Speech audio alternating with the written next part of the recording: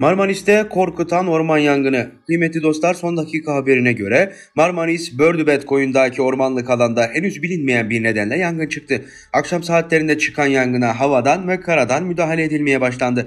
Muğla'nın Marmaris ilçesinde çıkan orman yangını rüzgarın da etkisiyle kısa sürede geniş alana yayıldı. Ekipler havadan ve karadan söndürme çalışmalarını sürdürüyor. Marmaris'in Amazon koyunda kızılçam ağaçlarıyla kaplı ormanda saat 20 civarında yangın çıktı. Bölgeden yükselen dumanları görenler 112 acil çağrı merkezine ihbarda bulundu. Yangın rüzgarın etkisiyle kısa sürede geniş alana yayıldı. Alevlerin Otluk koyu istikametine hızla ilerlediği belirtildi. Yangına ilk etapta 5 helikopterle müdahale edilirken kara ekipleri de bölgeye yönlendirildi. Kıymetli dostlar bölgeden gelecek herhangi bir son dakika gelişmesini öğrenmek için kanalımızı takipte kalın.